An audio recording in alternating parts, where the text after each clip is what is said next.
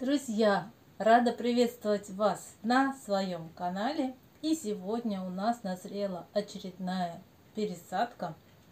Я думаю, достаточно интересная.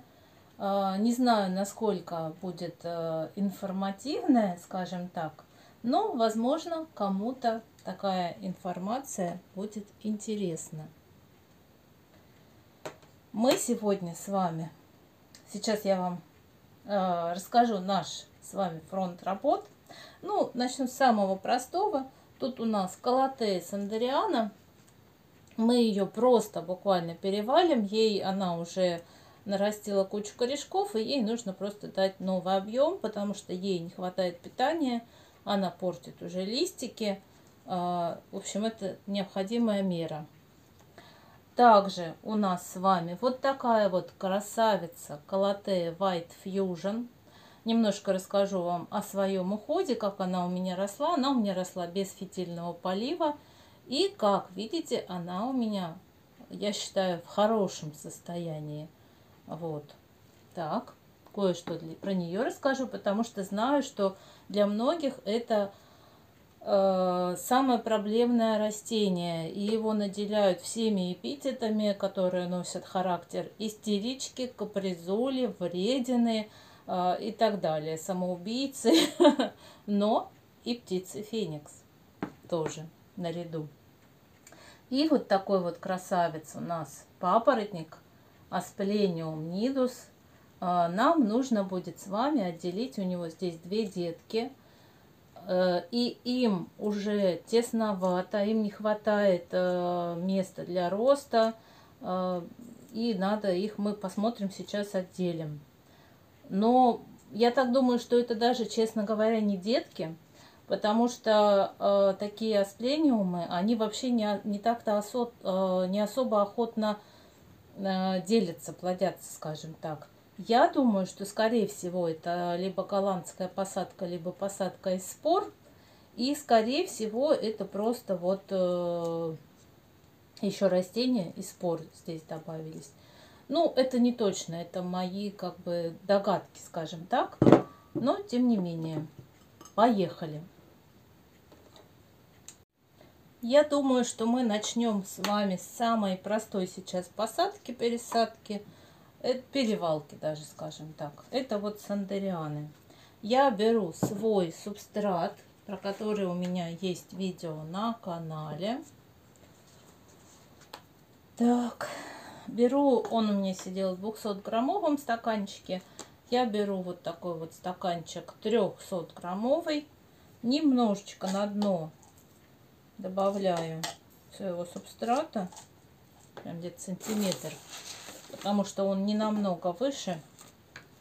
Добавляю э, многим известный гранулированный, э, гранулированное удобрение. Не буду говорить какое, чтобы меня не наказали за рекламу, скажем так.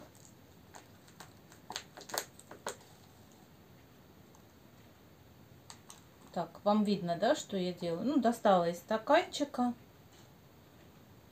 Ставлю другой стаканчик вот здесь получается, так видно вам, что получается, и просто по краям засыпаю субстратом. Подвину чуть-чуть эту красотку, чтобы вам было видно. Так вот. По краям просыпаю.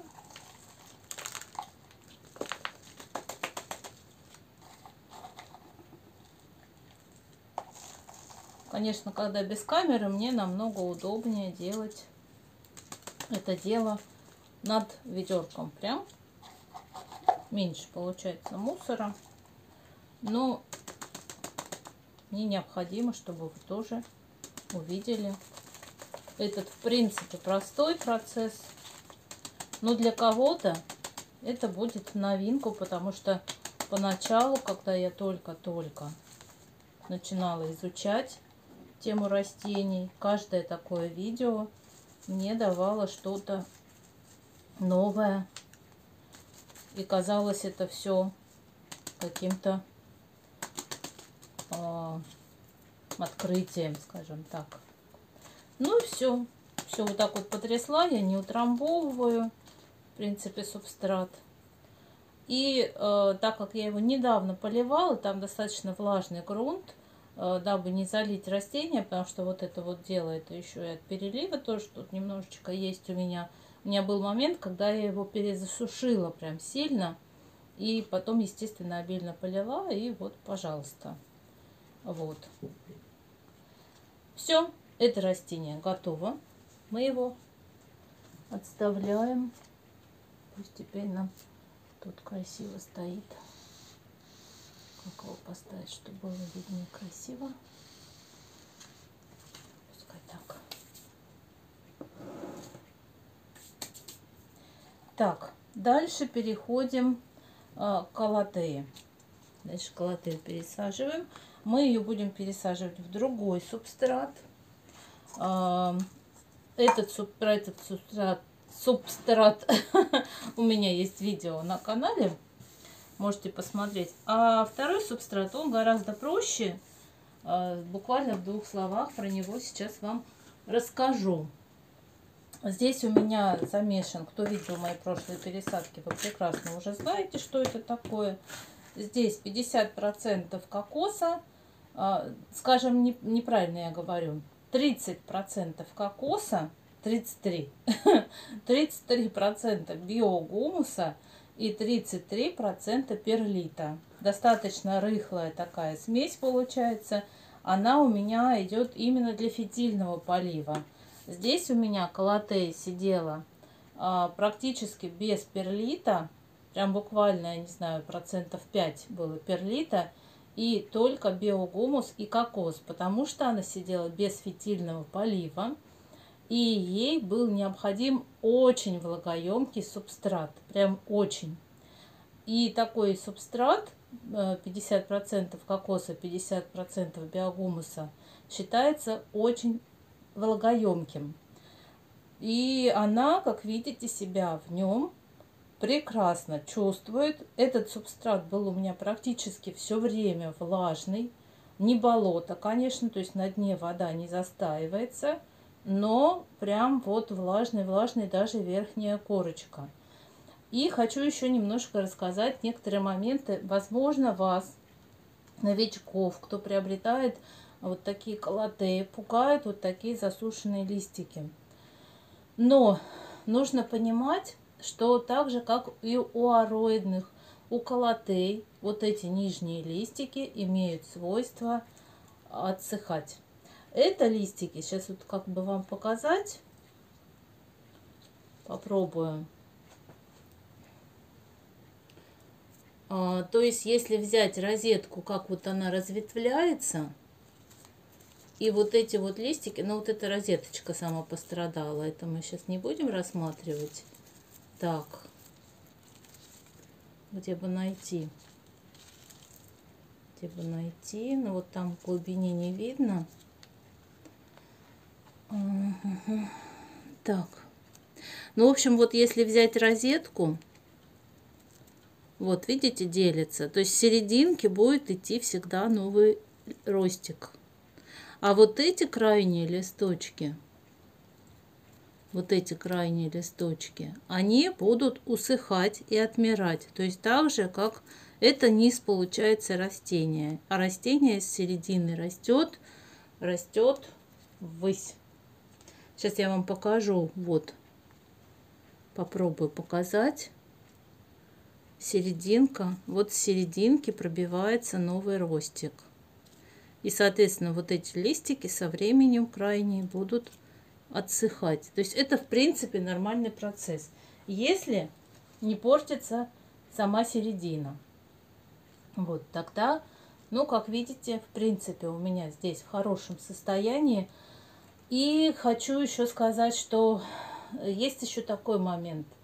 Вероятно, у многих, у кого не получается выращивать красивую колотые White Fusion, а, есть такая проблема, скорее всего, это не адаптированное растение, либо растение уже чем-то зараженное и больное, и поэтому, когда оно у вас погибает, вы расстраиваетесь, думаете, что виноваты вы, но есть вероятность, что это не вы виноваты.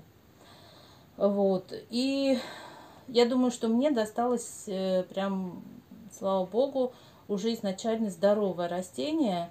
А, я прям даже вставлю, если найду фотографию, какое оно было, малипусечное, там буквально со спичечный коробок. на фотографии было непонятно, мне ее подарил муж на день рождения.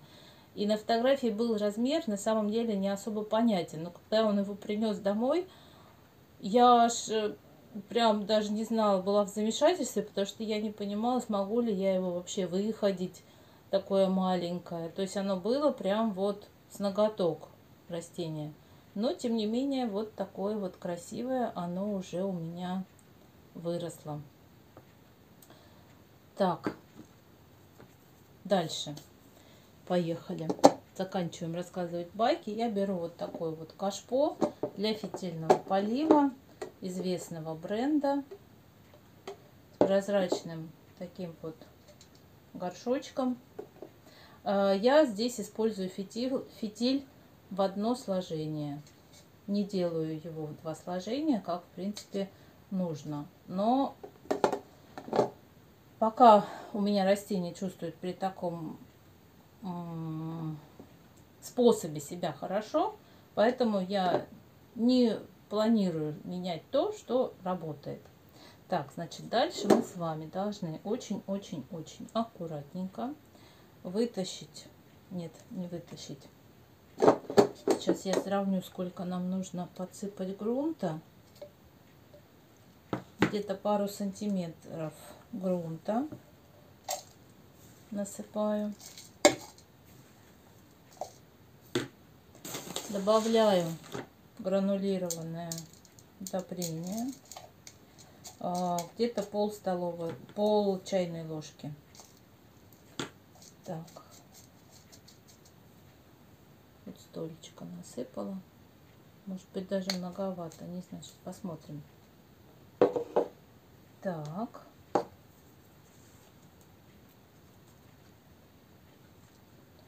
Теперь я аккуратненько, я сделаю это все-таки над ведерком. Ну, думаю, что вам и так. Я обжимаю горшочек сейчас. Нажимаю еще так вот снизу. Пальчиком средним показываю вам. Не спеша. Не торопимся.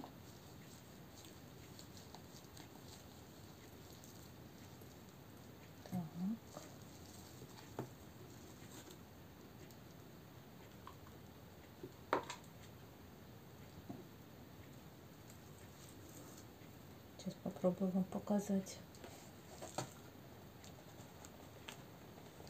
Такие вот там корешули.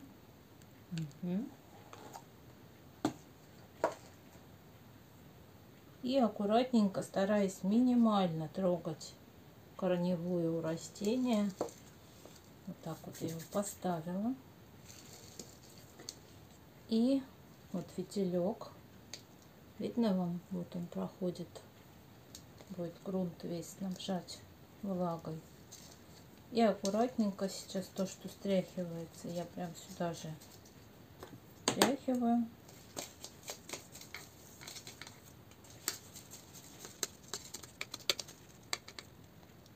И добавляю новый субстрат. Так. Помусорить придется, чтобы вам видно было.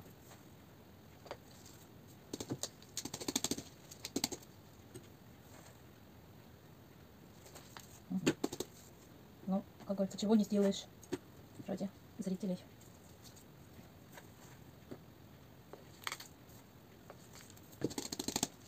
Так, вроде бы относительно ровно растение стоит.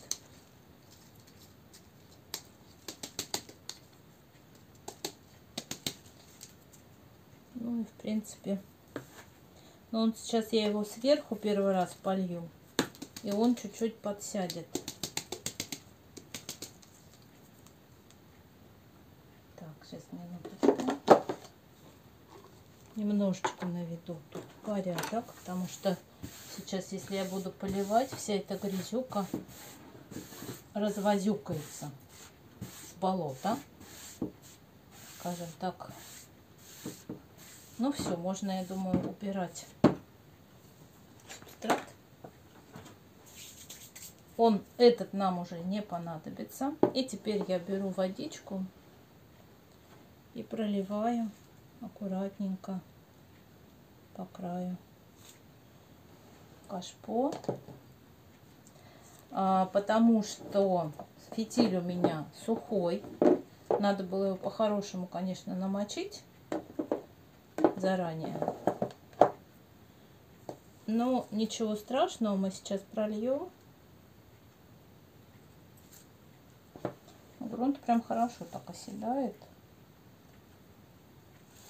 Первое время водичка будет не очень красивого цвета, но так как кашпо непрозрачная, это не страшно. А следующую потом уже будет... Так, ну вот тут я сейчас вижу, что надо немножко добавить. Ну вот, закончили мы с посадкой этой красавицы. Я думаю, что ей понравится э, на фитиле. Будем дальше наблюдать. Подписывайтесь на мой канал, кто не подписан. И смотрите, как будут развиваться события. Ну а дальше мы переходим вот к этому красавчику, папоротнику. Для этого мне понадобится, у меня есть вот такая специальная досочка для деления папоротников. А, плюс там, ну, такая для растений. Мне нужен будет обработанный нож антисептиком. Так, что еще мне тут будет нужно? И вот такие вот стаканчики а, для десертов, для деток. Я думаю, они хорошо подойдут. И плюс мой субстрат, который мы использовали для сандрианы. Так, папоротник у меня сидит вот в таком не очень презентабельном э, ведерке, скажем так. Но зато ему там хорошо, уютно. В принципе, я думаю, что все хорошо. Мы его достаем оттуда очень аккуратненько, опять же, обминая. Обминаем. Я, кстати, не так давно его уже сюда переваливала. Вот, но он уже хорошо нарастил корневую. Вот, в принципе, тут вот все в корешках. Так, ну, будет такая грязная пересадочка. Ничего с этим не поделаешь. А, если бы он прям посильнее нарастил корневую, тогда было бы почище немножко. Так, будем смотреть, что у нас тут происходит.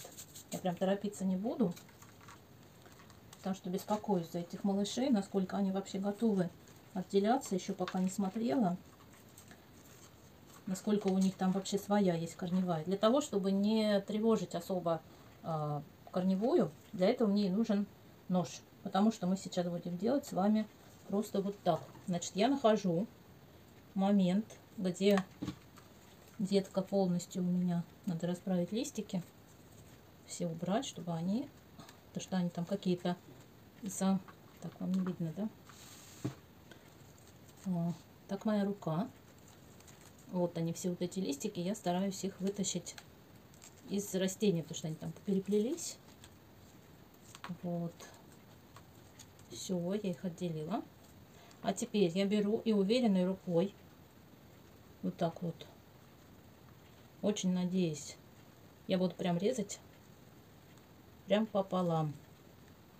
Максимально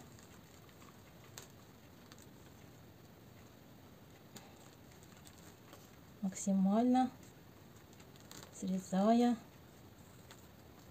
корень. Прям вот так.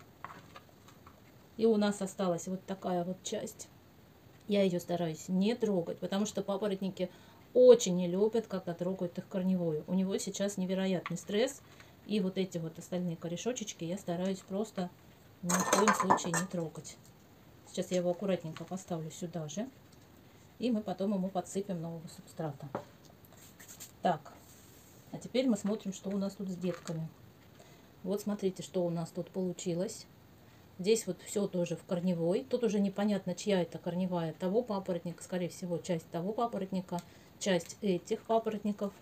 И я вот думаю сейчас оставить их вдвоем. Вы знаете как? Я, наверное, правда. Я их оставлю вдвоем сейчас. Я не буду их делить, как я изначально хотела. Ну, прям вот боязно мне. А, пусть они немножечко сами подрастут, у них теперь будет больше питания, будет больше места, и потом их будет уже легче разделить. Таким же образом буду делить. Просто я их вот так вот найду, где у них точка роста, и поделю также ножиком вот таким вот образом. Так, а теперь нам надо все это дело посадить. Ну, давайте начнем тогда, наверное, все-таки в этот же стаканчик я и сейчас я то, что субстрат тот, который легко осыпется, я его уберу. Так, что-то у нас помещаешься. А он прекрасно помещается. Горшочек, стаканчик. И все, вот как есть, просто я подсыплю ему грунта. Надеюсь, он сильно не будет в стрессе. На дно я добавляю гранулированное удобрение. А, так, сколько тут? Наверное, четверть чайной ложки. Пока ему хватит. И насыпаю аккуратненько субстрат. Не утрамбовывая его, а вот так вот притрясая. Он найдет, куда ему. Вот так вот можно немножечко помочь. Тут, потому что в этих стаканчиках есть такая приступочка, которая не дает осыпаться. Поэтому чуть-чуть вот так вот помогаю ложечкой обратной стороной. Если у вас есть специальные приспособления, можете использовать их. Никто не запрещает делать это красиво. А я делаю это вот так. Так, и подсыпаем. Стараюсь не засыпать точку роста, потому что у этого папоротника это очень такая, ну не больная тема, это важный такой очень момент, чтобы на точку роста не попадала вода, иначе он может загнить. Так. Ну, он сейчас немножечко расправится, чуть-чуть он у меня получился как бы в бок. Вот, видите? Но я его поставлю вот так вот к свету, и он выправится. Да или вот так, в принципе, не особо важно. Так, ну и теперь вот этот. Здесь нам нужно просто подсыпать ему субстрата. Немножечко подсыпаю субстрата. Дальше добавляю гранулированное удобрение. Где-то тоже треть чайной ложечки, потому что он постарше. Ему можно и побольше. Так.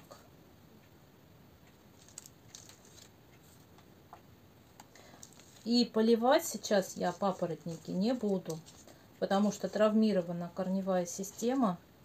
И дабы не загнила, не начался процесс гниения, э, лучше не трогать. И он, видите, у меня сейчас как болтается в этом горшочке. Для того, чтобы не засыпать его шейку, его в смысле гнездо, я сейчас не хочу много насыпать сюда субстрата, а воспользуюсь своим любимым лайфхаком, который многие знают. Те, кто давно меня смотрит, знают, что я пользуюсь. Вот у меня керамзит. И делаю вот таким образом. Я просто его сейчас обсыплю этим керамзитом. И будет туда и доступ воздуха к корням и не будет попадать вода, куда мне не нужно. Очень хорошо проливается. И очень хорошо растение держится а, такой посадочки.